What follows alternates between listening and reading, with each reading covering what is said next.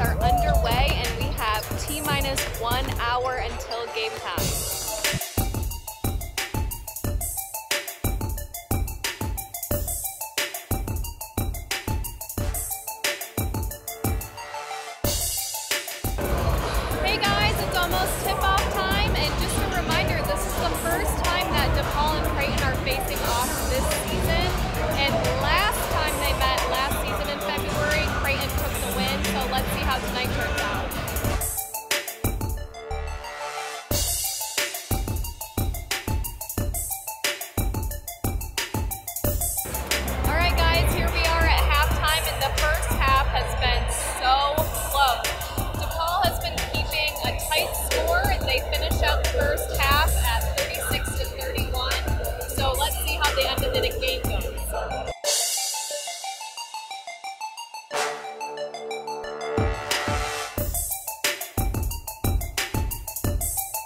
guys, there's just under a minute and a half left and things are getting so heated in here. I had to put my hair in a ponytail. It's currently tied 73 to 73. Let's see how this ends. Alright, so that's it. Here we are at the end of the game and Creighton took a win by one point, leaving the score 76 to 75. DePaul was able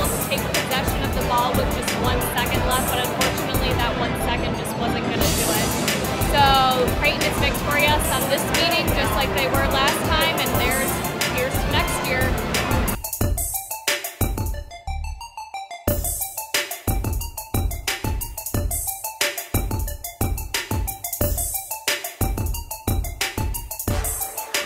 I got a really good player sitting next to me and he made a uh, he made a big time play at the end of the game. Sometimes this game is simple as making a shot or missing a shot and we made one tonight.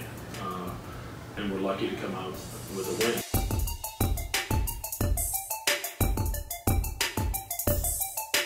Every day, not not for our team or in fact, every day that, that we live, we have a challenge, and our challenge is tomorrow. Guys, just wrapped up the press conference and it is time to go home. I hope you had fun coming along with me on this crossover journey and stay tuned for next time.